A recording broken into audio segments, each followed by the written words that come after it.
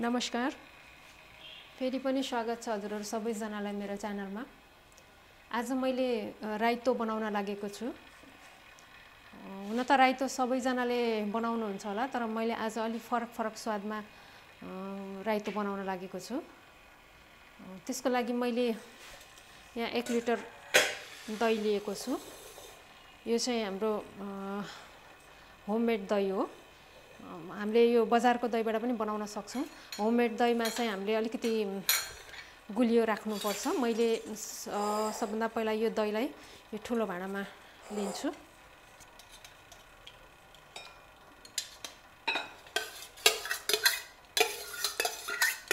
सबै दहीलाई मैले ठुलो भाँडामा राखेँ। अब यसलाई चाहिँ हामीले राम्रोसँग यो विस्करले फेटेर यसलाई स्मुथ बनाउनुपर्छ।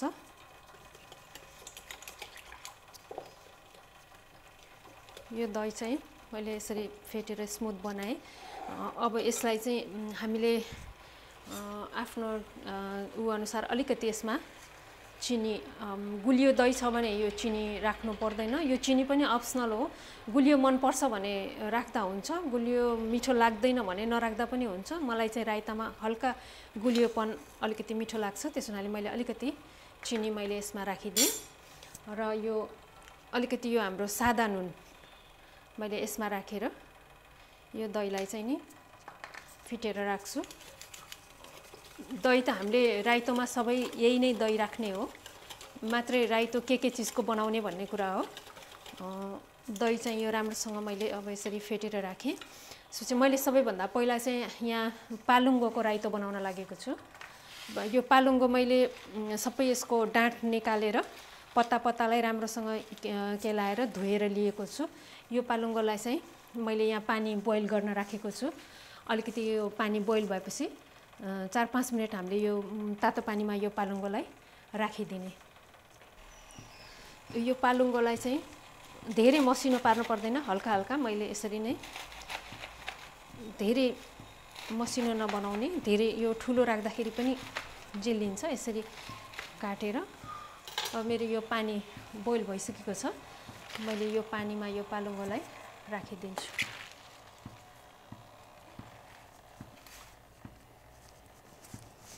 चार पाँच मिनट जति यसलाई अलिकति नरम हुन दिने यसमा राखेर।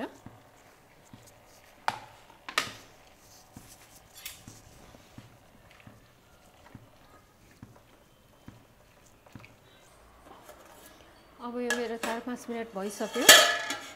अब यसलाई चाहिँ हामीले यो राम्रो नरम भइसकेको छ यो पालुङ्गो।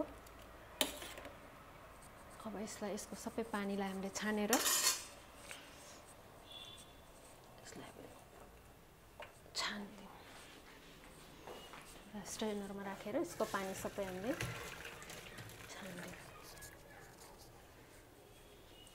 र माथिबाट अलिकति चिसो पानी चिसो पानी राखिदियो भने सेलाउँछ पनि र यसको कलर पनि राम्रै रहिरहेको छ।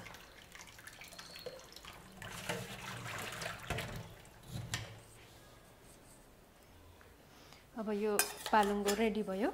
अब यसमा यो फेटेको दही यो दही फेटेर यस्तो स्मुथ बनाउनु पर्छ अब यो फेटेको दही राखिदिउँ यसमा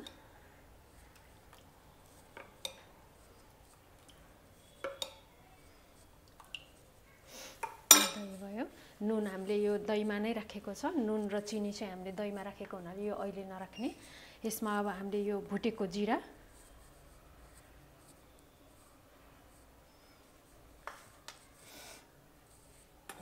यो बिरे नुन।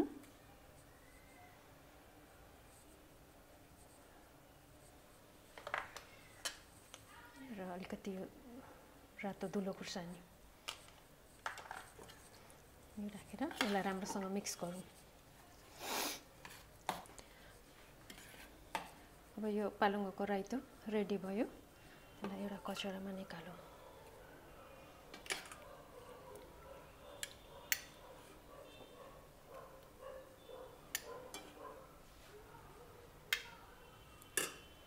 यो चाहिँ हाम्रो पालुङ्गाको राइतो तयार भयो।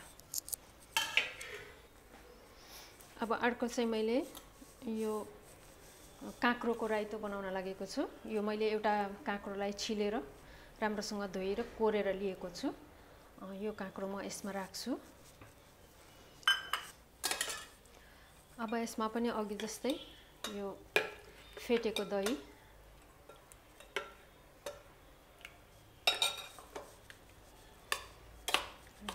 मिलाउने। यसमा हाम्रो भुटेको जिरा।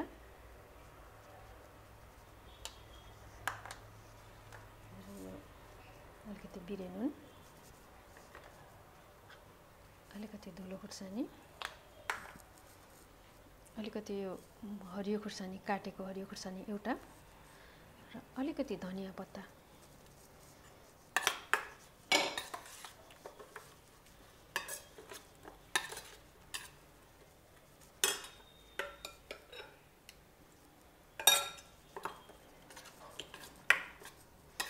यो हाम्रो काँक्रोको राइतो पनि तयार भयो। यसलाई चाहिँ हाम्रो झानेको मिठो हुन्छ। त्यस हुनाले मैले यसलाई झान्नलाई चाहिँ नि यहाँ एक टेबल स्पुन जति तेल तोरीको तेल तताउन राखेको छु। यो तेल तात्दैछ म यसलाई झान्छु। यो तेल अब तातिसकेको छ। यसमा यो तोरी र जिरा। फुराएर एकछिन यसलाई पड्किन दिउँ। त्यसपछि अलिकति बेसार।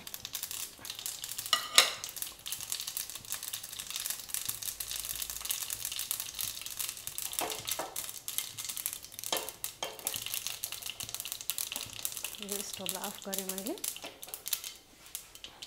यो चाहिँ हामीले यसलाई छान्दैनौँ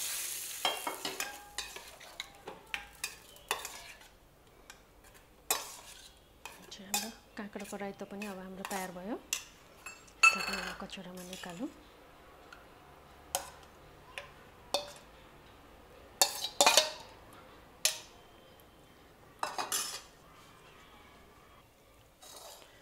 अब अर्को चाहिँ मैले भेजिटेबल राइता बनाउन लागेको छु।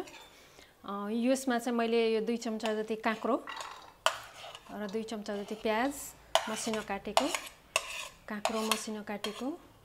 अनि यो हरियो धनियाँ एक चम्चा जति हरियो धनियाँ र दुई चम्चा जति यो गोलभेडा। यो गोलभेडाको चाहिँ बिचको त्यो यसको सिड्स चाहिँ निकालेर अनि त्यसलाई मसिनो काटेर राखेको। अनि एउटा हरियो खुर्सानी मैले यो सबैलाई मिक्स गरेर अब यसमा यो दही राखेर यो यो भेजिटेबल रायता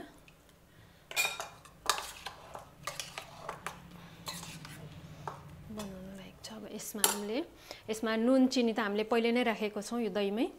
यसमा भुटेको जिरा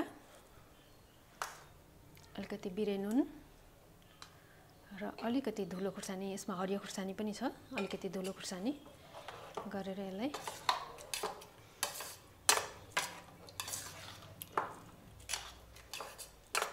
हाम्रो भेजिटेबल रायता पनि रेडी भयो अब। अब यसलाई पनि एउटा कचौरामा निकालौँ।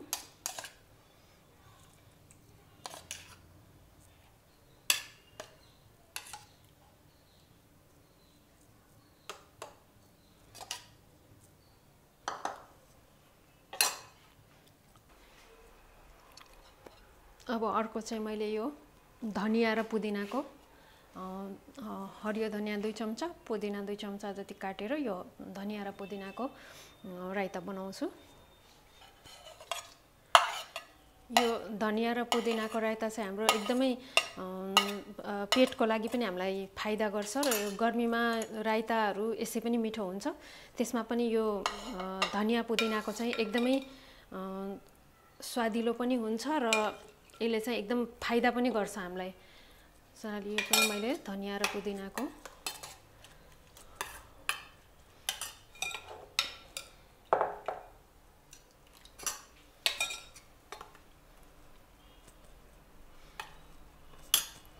यसमा पनि हामीले भुटेको जिरा।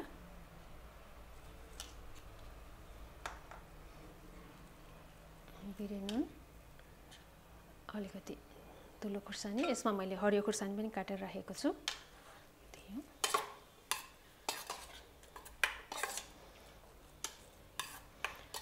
यो राइता पनि अब तयार भयो।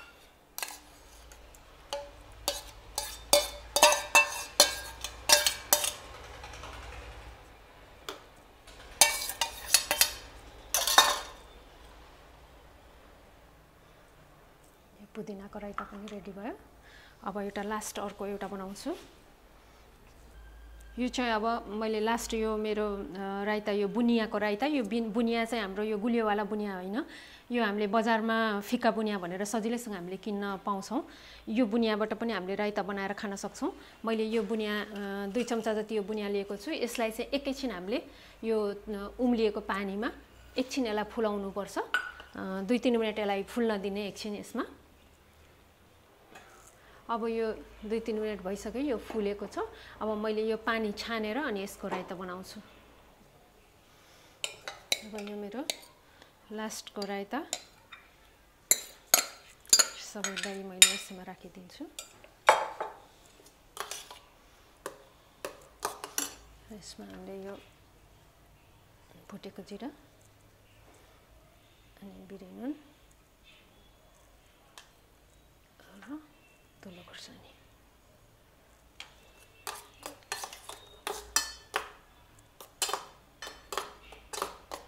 मेरो यो बुनियाको राइता पनि तयार भयो।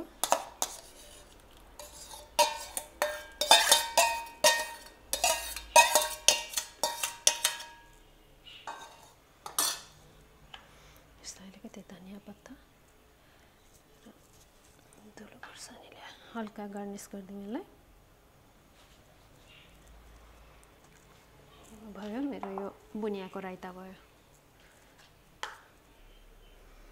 अब मेरो यो फरक फरक स्वादको पाँचवटै राइता तयार भइसकेको छ यो भिडियो हजुरहरूलाई कस्तो लाग्यो यदि मन परेको छ भने चाहिँ लाइक कमेन्ट सेयर गरिदिनु होला हजुरहरूले अहिलेसम्म मेरो च्यानललाई सब्सक्राइब गर्नुभएको छैन भने सब्सक्राइब पनि गरिदिनु होला यो सबै मेरो अब यो पालुङ्गाको राइतो भयो यो चाहिँ नि हाम्रो पुदिना धनियाँको राइता यो चाहिँ बुनियाको राइता यो मिक्स भेज राइता र यो चाहिँ नि काँक्रोको राइता मेरो यो पाँचवटा राइता रेडी भइसकेको छ। यो भिडियो हेरेर अन्तसम्म हेरिदिनु भएकोमा हजुरहरूलाई धेरै धेरै धन्यवाद। हस् त बाई बाई।